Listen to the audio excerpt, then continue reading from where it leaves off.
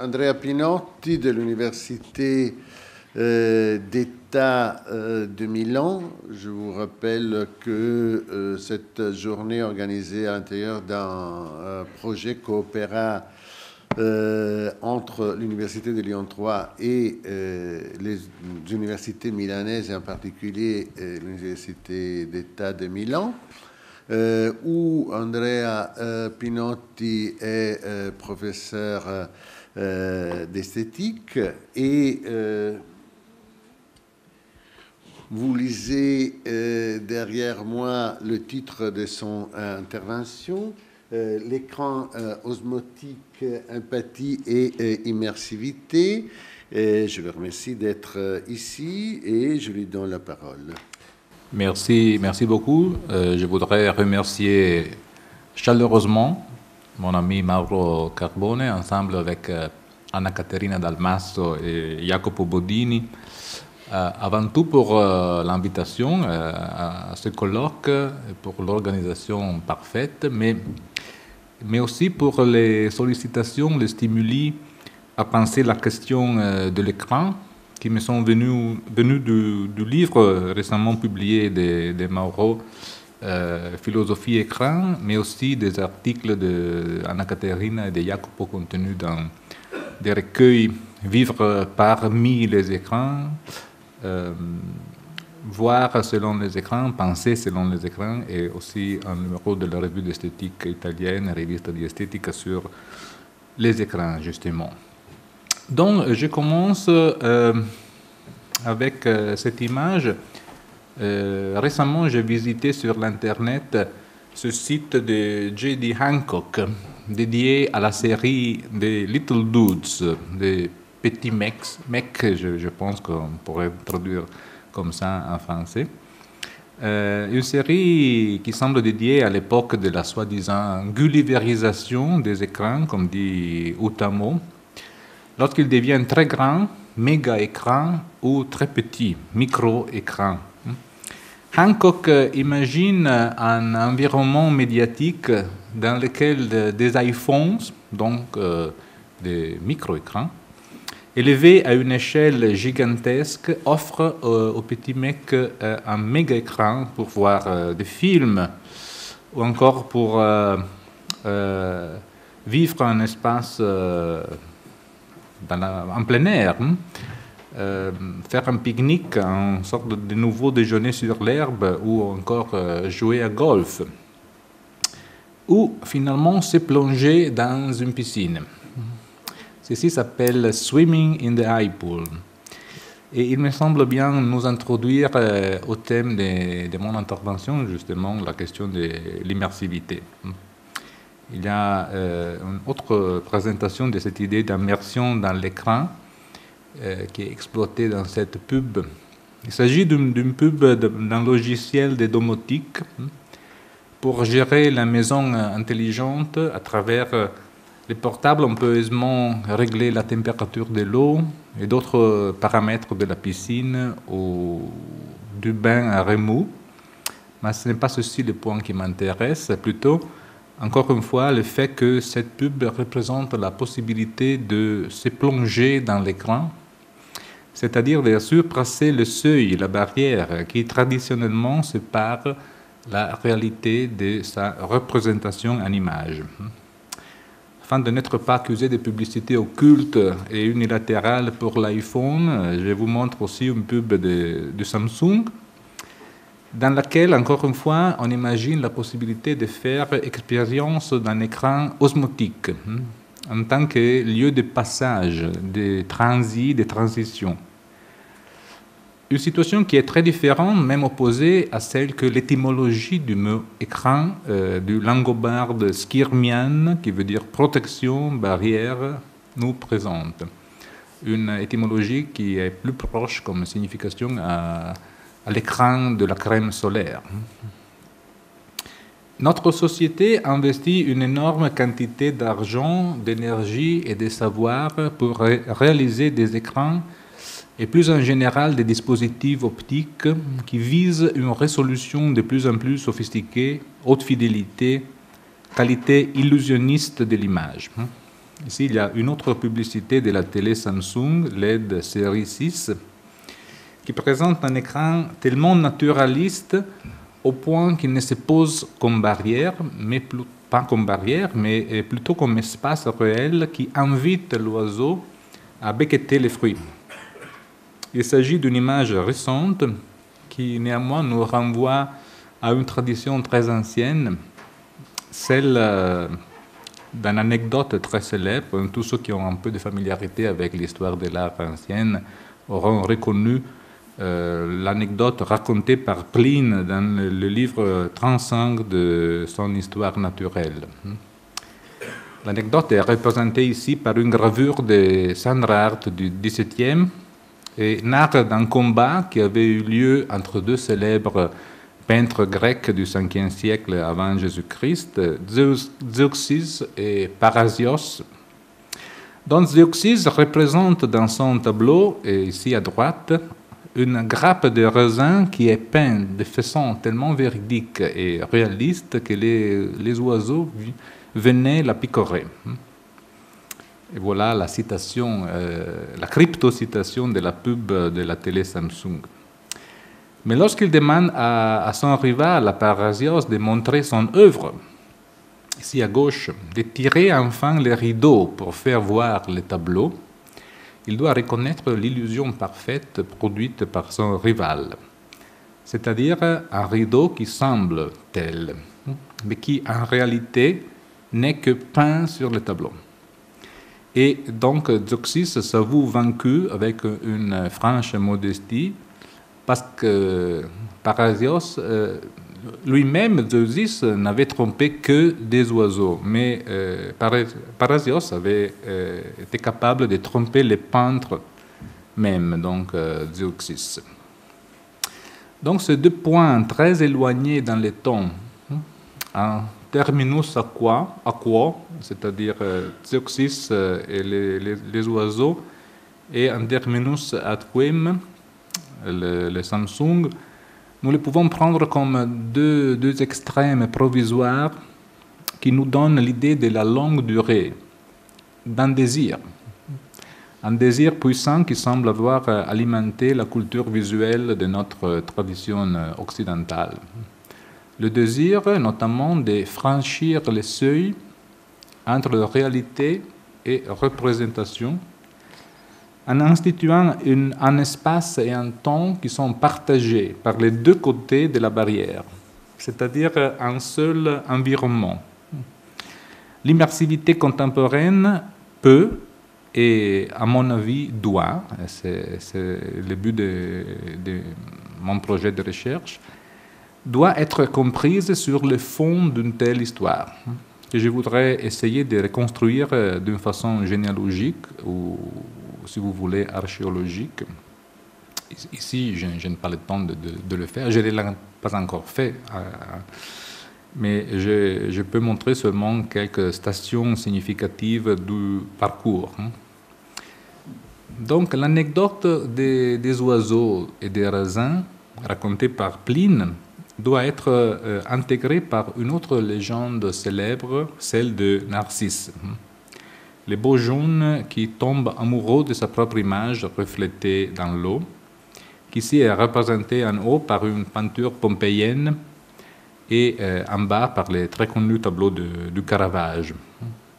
Comme toute légende mythique, aussi la légende de Narcisse se décline de manière euh, différente.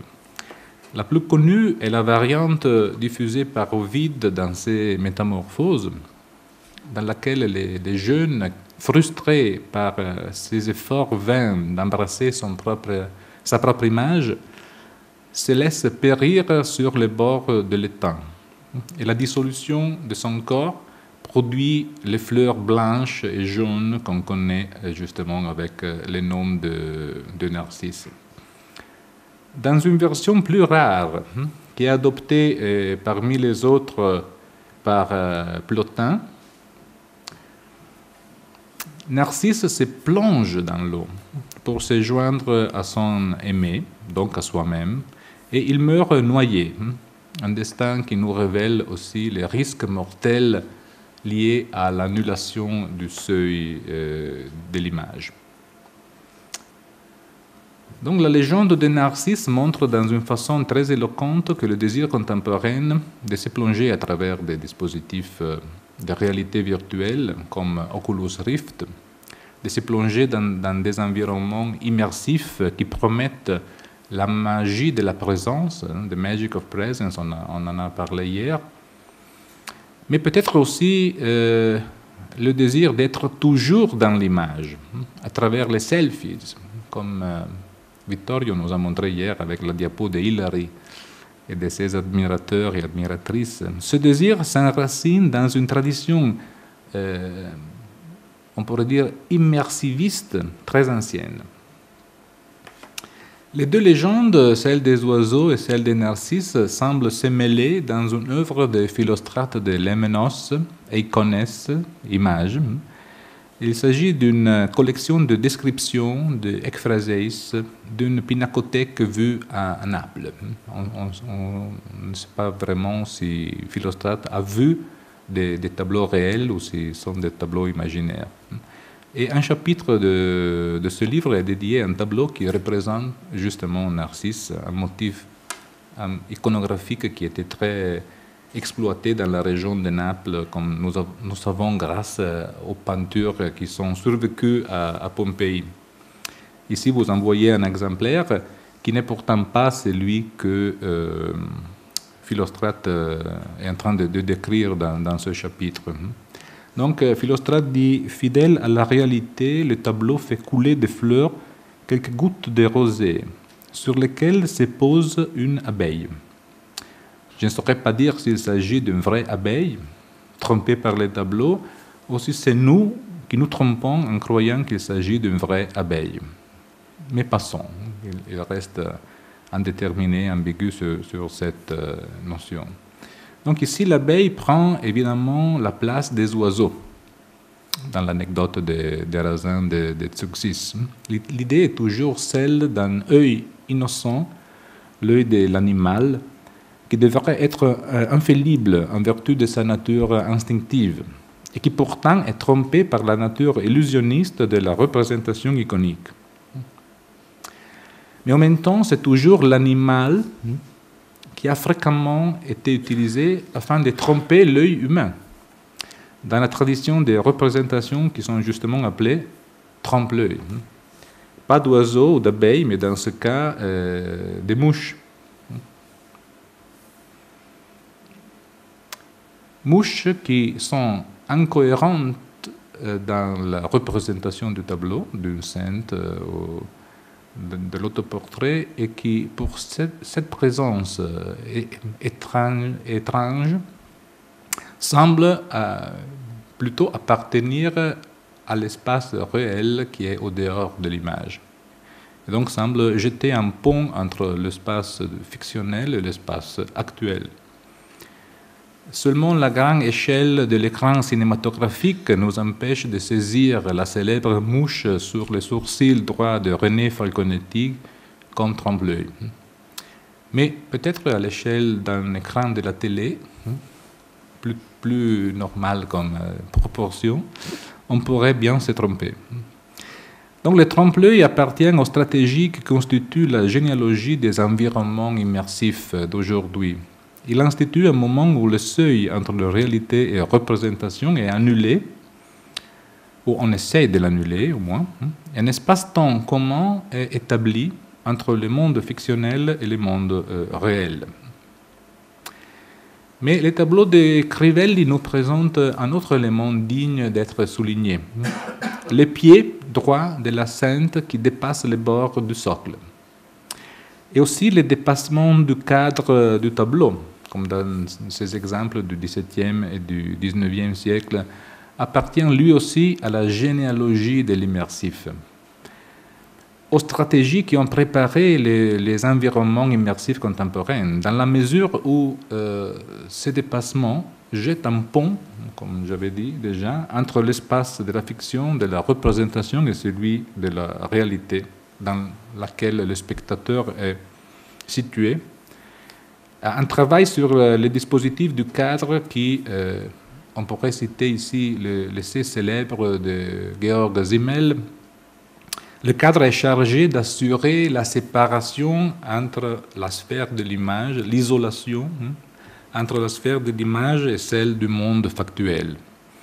Une séparation qui est niée par euh, Kandinsky plus ou moins dans les mêmes années, hein, au début du XXe, dans ce tableau dans lequel forme et couleur débordent, euh, envahissant le, cadre même. Mais restons euh, au cinéma évoqué par l'image de René Falconetti. Eisenstein, euh, Mildred l'a rappelé hier, avait imaginé pour la première projection de son film Les cuirassés Potemkin que la proue du navire devait déchirer l'écran et entrer matériellement dans la salle avec les marins. Plus tard, en 1947, il écrit sur la possibilité du stéréokino, c'est-à-dire d'un cinéma à trois dimensions, euh, une sorte d'anticipation du, 3D euh, euh, contemporain, hein, dans lequel, je, m'excuse, j'ai seulement la, traduction anglaise ici, je n'ai pas encore trouvé le texte français dans lequel des oiseaux, encore les oiseaux, comme s'il s'agissait d'une sorte de paraphrase de, Pline, sortent de l'écran en volant sur la tête des spectateurs, ou au contraire volent de la salle dans l'écran. Hein, encore une fois, oiseaux donc. Hein. L'hypothèse du cuirassé qui déchire l'écran a un précédent célèbre, euh, la légende de la première projection du film de lumière Vittorio l'a cité hier, hein, la légende des spectateurs qui échappent de la salle afin de se soustraire à la mort euh, certaine. Une légende, bien sûr, mais qui a été très tôt thématisée par le cinéma du début du XXe siècle, comme Les Campagnards pour la première fois au cinéma, ou Uncle Josh au cinéma, dans lequel il y a deux personnages qui échappent devant l'écran qui montre le train qui arrive. Si le train de lumière sort de l'écran, c'est parce que le seuil est franchi. Mais si le seuil est franchi, l'osmose peut se produire dans les deux directions. Donc, éléments du monde fictionnel qui envahissent le monde réel, et vice-versa, éléments du monde réel qui pénètrent dans le monde iconique. On va-et-vient, mise en scène par Buster Keaton dans son Sherlock Jr., dans lequel les protagonistes, ou mieux le double onirique, je n'ai pas le temps de vous montrer les vidéos, mais vous pouvez le, trouver facilement sur YouTube. Les protagonistes entrent dans la scène filmique comme s'il s'agissait d'un espace théâtral et il en est repoussé au dehors. Donc le va-et-vient euh, a une euh, modalité de représentation qui a été répétée par Woody Allen dans La Rose pourpre du Caire, il s'agit d'un véritable hommage à Buster Keaton, dans lequel l'explorateur sort de l'écran. Hmm, Jeff Daniels prend couleur, c'est-à-dire vie réelle. Il a une aventure avec euh, Mia Farrow, qui, était dans le public à New York, et il l'introduit aussi à son tour dans la vie fictionnelle du récit filmique. Elle, pénètre dans, dans l'écran, donc les possibilités de franchir le seuil n'est pas permise euh, néanmoins à tout le monde. Comme on voit avec ce personnage ici, elle veut aussi suivre l'explorateur dans la vie réelle, mais l'écran fonctionne pour elle comme barrière qui lui empêche d'entrer dans la réalité. Depuis lors, euh, le va-et-vient a été articulé dans plusieurs façons en relation euh, avec des médias différents. Euh, Cronenberg, dans Videodrome, l'a imaginé pour la télé. Il y a aussi un vidéoclip de la bande AA hein, qui imagine le va-et-vient entre réalité et fiction de la bande dessinée. Mais euh, cette idée d'un va-et-vient, donc d'un franchissement de la barrière, comme je disais, doit être reconstruit euh, avec euh, la prise en considération d'autres stratégies aussi. Par exemple, la rupture de la soi-disant quatrième paroi Federica Cavalletti, qui est dans la salle, a beaucoup travaillé sur ces points-là. La, quatrième paroi de Fort Wall avait été théorisée par Denis Diderot dans son discours sur la poésie dramatique Diderot avait suggéré aux acteurs du théâtre d'imaginer entre eux et le public du théâtre euh, une quatrième paroi, afin de réciter dans un isolement complet.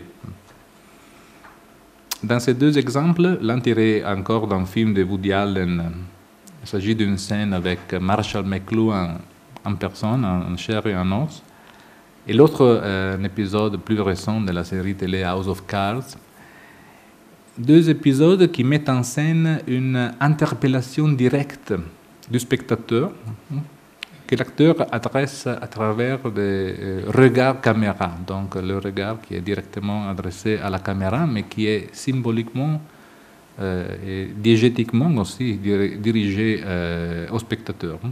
L'acteur parle avec le spectateur qui nous sommes comme s'il avait devant lui le spectateur même. Dans ce cas aussi, on peut, on peut reconstruire une archéologie de cette modalité d'interpellation qui a à faire dans la tradition de la peinture occidentale avec un jeu combiné de gestes, le, geste indicatif et du regard, hein, adressé au dehors du tableau, comme dans l'exemple célèbre de l'autoportrait de Pontorme, qui semble inaugurer toute une série de regards et de doigts pointés qui arrivent jusqu'à l'oncle Sam et à son euh, I want you. L'un des premiers théoriciens de l'image à étudier cette dialectique des regards était l'historien de l'art euh, autrichien Alois Riegel, qui avait analysé les portraits des groupes euh, hollandais un cas célèbre, l'anatomie du docteur Tulp de Rembrandt. Eric avait remarqué que dans ce type de portrait collectif, il y a d'un côté un jeu de regard interne au tableau, interne à son monde fictionnel, donc euh, ce qui produit une unité que Riegel appelle interne au tableau. Mais il y a toujours au moins un regard qui est adressé à l'extérieur, vers le spectateur, ce qui institue une relation d'implication, de participation de l'observateur dans l'espace de la représentation, comme s'il s'agissait d'un espace partagé entre les personnages du tableau et le spectateur même. Il ne s'agit pas d'une dialectique propre seulement à la peinture euh, hollandaise euh, du XVIIe, comme le montre cette photo célèbre de Georges Mérillon, une euh, veillée funèbre au Kosovo, 1990, et il y a, vous voyez, la, sœur de la victime qui adresse son regard à, la, caméra, à la, à la machine photo. Michael Fried a opposé plus récemment euh, par rapport à Riegel euh, le principe d'absorption à celui de la théâtralité, absorption and theatricality, pour indiquer euh, deux classes d'images. Celles qui s'occupent, pour ainsi dire, d'eux-mêmes, sans se préoccuper d'un spectateur éventuel, comme dans le cas de Chardin et de son philosophe, qui est concentré, absorbé par la lecture, et celles qui, au contraire, cherchent à établir un contact avec l'observateur, comme le joueur de Balthus, qui semble nous inviter à occuper la troisième chaise et à jouer avec eux à, cartes. Il serait pourtant erroné de penser qu'il y a des images absorbées d'un côté, des images théâtrales de l'autre côté, comme s'il s'agissait d'une distinction rigide. Comme le montre le jeu sophistiqué de regard dans Las Meninas de Velázquez, on peut bien avoir des images hybrides dans lesquelles les deux directions du regard sont représentées. Regards qui euh, s'adressent entre eux dans le tableau, des regards qui s'adressent à l'extérieur du tableau. Peut-être aussi une troisième classe d'images, celle de la couple royale au fond du tableau, qui en effet reflété dans un miroir, donc qui semble être adressé vers l'extérieur, vers le spectateur, mais qui en réalité est ici et regarde le miroir et donc regarde la scène peinte dans le tableau même. La situation inversée du regard caméra, et donc du regard qui est adressé vers euh, l'extérieur euh, de l'image, est celle du plan subjectif, de la caméra subjective, le first person shot, comme on dit en anglais, sur lequel Ruggiero Eugeni a écrit des choses très stimulantes. Il, en a parlé comme d'une forme symbolique, dans un, dans un sens cassirérien, panofskien. Il s'agit d'une situation inversée parce que cette fois le regard semble coïncider avec le regard de la caméra et est adressé vers le dedans de l'image, vers l'intérieur de l'image. Mais le but est commun avec le regard caméra, pour ce qui concerne au moins mon parcours. C'est-à-dire une stratégie qui intensifie le sentiment de participation, de participation à un même espace. Ici, vous avez une image tirée d'une vidéo tournée avec une caméra GoPro par un journaliste américain, Wester Flanagan, qui en 2015 a assassiné sa collègue et a immédiatement téléchargé les vidéos avant de se suicider. Vous avez reconnu euh, sûrement la même structure représentative de videogames à la manière shoot them up, hein, abattez-les tous, qui euh, partagent justement cette euh, présence, hein, cette euh, prolongation de, la main dans la, pistole, euh, dans l'écran, et donc une, euh, une perspective subjective. On devrait aussi ajouter une perspective subjective qui se prolonge dans un espace qui est construit selon les règles de la perspective de la Renaissance. Et aussi la perspective de la Renaissance serait à étudier pour euh, euh, cette reconstruction généalogique des stratégies qui euh, semble construire euh, un espace qui n'est pas bidimensionnel, mais qui se prolonge dans une troisième dimension qui continue l'espace actuel du spectateur. Donc j'ai parlé beaucoup d'écran en hommage à l'écranologie lyonnaise de Mauro et de ses élèves, mais pas du tout d'empathie. Euh, ici, il y a un écran blanc. Euh, Mauro a parlé de l'agressivité de l'écran noir et Alfredo Jarre a plutôt parlé de la nature, parler, a montré la nature inquiétante des écrans blancs. Donc, euh, qu'est-ce que euh, tout ça a à faire avec la question de l'empathie?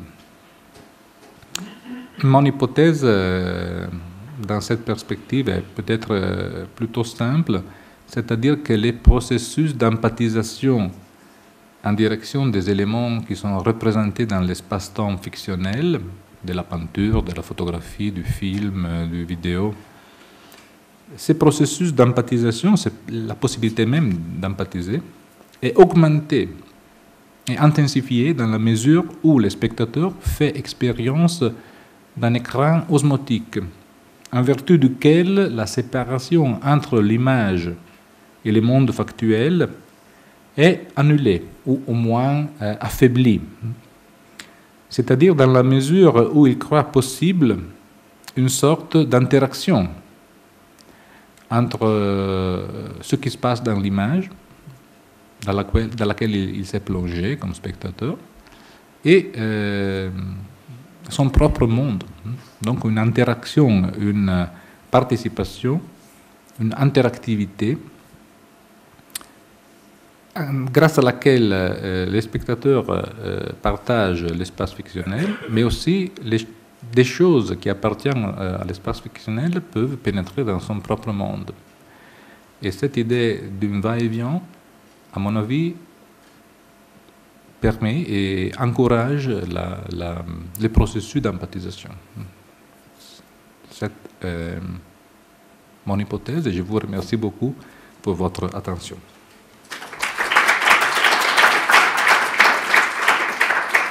Merci pour euh, la communication passionnante. J'aurais voulu savoir ce que vous pensiez de mise en scène de ces euh, processus, de ces mises en scène de ces passages entre l'espace de l'image et l'espace du spectateur, qui seraient euh, contre-productifs en fait de, ce va-et-vient, qui en fait révélerait le dispositif en annulant l'éventualité d'un passage. Je pensais notamment à ces caméras subjectives fantomatiques qui réussissent pas à reproduire l'illusion d'un mouvement humain et qui nous euh, qui font l'inverse en fait au moment de nous inviter dans l'espace du film nous repoussent en, signifiant euh, l'impossibilité de figurer le mouvement humain et donc en réaffirmant la barrière de l'écran. C'est ce qui est fait dans La Dame du Lac. Euh, Merci. oui, j'ai un, peu essayé dans, mon parcours déjà, mais euh, je vous ai présenté un work in progress, euh, et donc quelque chose qui est en train de se développer, et donc je suis euh, seulement au, début. Mais j'ai essayé de travailler un peu sur la question de l'opacité du médium, hein, parce que cette, ces stratégies indiquent une plutôt le contraire, donc une transparence du médium, on ne se rend pas compte d'être devant une euh, situation médiatisée. Et donc j'ai pensé à la question de la dialectique entre haute résolution, haute fidélité, euh, comme j'ai montré ici dans, les écrans, euh, haute fidélité qui sont très naturalistes, très illusionnistes, et de l'autre côté, les stratégies de, de mm, mauvaises résolutions. Par exemple, dans des documentaires, ou comme on dit, mockumentaires, donc fausses, euh, documentaires, qui présentent des images qui sont très pauvres en termes de qualité, de résolution, et donc euh, pixelées. Et donc, euh, on a d'un côté l'impression d'être devant une image artificielle construite donc devant l'opacité du médium. Mais de l'autre côté aussi l'impression d'être sur place, parce que l'image, si elle est si pauvre, elle ne sera pas, n'aura pas été euh, éditée, euh, contrôlée, gérée par un logiciel. Donc elle me montre la, réalité précisément comment cette réalité s'est passée devant les yeux euh, du personnage. Et paradoxalement, il s'agit d'une stratégie qui, en utilisant des, instruments opposés à, ceux de l'autre résolution, vise, à, mon avis, dans une certaine façon, à obtenir euh, la, même sensation d'être là. Donc d'être en présence de quelque chose qui s'est déploie devant, devant mes yeux. Je ne sais pas si j'ai un peu répondu. À... Merci. Ruggiero Jenny. J'ai une petite invitation à préciser, à complexifier, si tu veux, tes catégories et une demande un peu plus particulière. Donc, l'invitation à préciser, c'est ça. Euh, je pense que d'un côté, euh, il faudrait distinguer les récits d'immersion euh, du récit d'immersion. Euh, ils sont deux types de récits différents et on trouve de, témoignages iconographiques différents à propos de l'immersion et de l'immersion. deuxièmement, bon, l'autre aspect de, complexification est le suivant. Est-ce que l'immersion ou l'immersion sont fonctionnels à euh, une homogénéisation des mondes ou bien euh, ils se font sur une euh, Foucaultienne hétérotopie du monde qui est franchi, qui au-delà de la barrière qui est franchie. Parce qu'il s'agit de, solutions différentes. Et bon, c'est ça. La question la plus, particulière, euh, que penses-tu du cinéma à trois dimensions? Tu penses qu'il puisse être, intégré euh, dans, ton modèle, dans ta théorie? Merci. Merci, Roger. Euh, oui.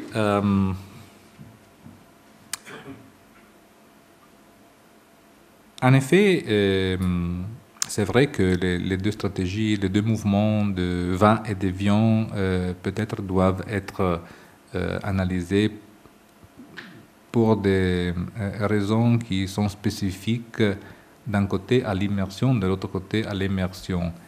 Mais euh, il me semble que les deux partagent le fait qu'on pense à la barrière de l'écran comme quelque chose qui peut être euh, franchi. Donc il y a des, différences, mais aussi un élément en commun qui me semble aussi euh, important. L'hétérotopie, oui, je pense que je devrais travailler à partir, par exemple, de Lewis Carroll Alice euh, à travers euh, les miroirs, hein, Alice through the looking glass, euh, pour explorer ce que tu appelles le contraire de l'homogénéisation de l'espace. C'est donc une, un accès qui ouvre vers un horizon d'hétérotopie, d'hétérogénéité, un monde dans lequel les règles de fonctionnement de la réalité ordinaire fonctionnent dans une manière totalement différente et il me semble que euh, là, tu as indiqué une piste à suivre euh, très importante pour tout ce qui concerne les utopies aussi, les hétérotopies, les utopies, donc toutes les manières de moduler, d'imaginer des alternatives. Et le film à trois dimensions, oui, euh, absolument. Et, je voudrais dire aussi ce qu'on appelle euh, quatrième dimension, donc tous les, tous les expériments qui vont en direction d'une implication synesthésique. Donc pas seulement audiovisuel, mais aussi quand tu vois de l'eau euh, projetée sur l'écran, tu as effectivement de, de, l'eau euh, dans la salle qui est projetée sur le spectateur, ou plutôt les, odeurs, et donc une implication de, la vie sensible du spectateur qui devient de plus en plus euh, compliquée et intégrée.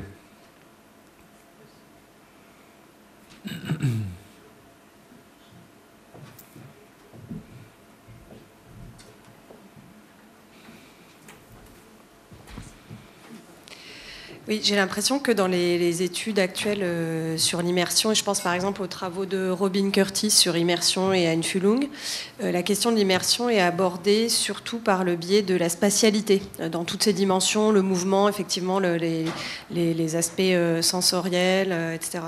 Et je me demandais dans quelle mesure pouvait s'articuler à ta démarche une prise en considération pas seulement de l'articulation du temps de la fiction et du temps du spectateur au moment de l'immersion, mais la question de l'entrée et de la sortie dans l'immersion.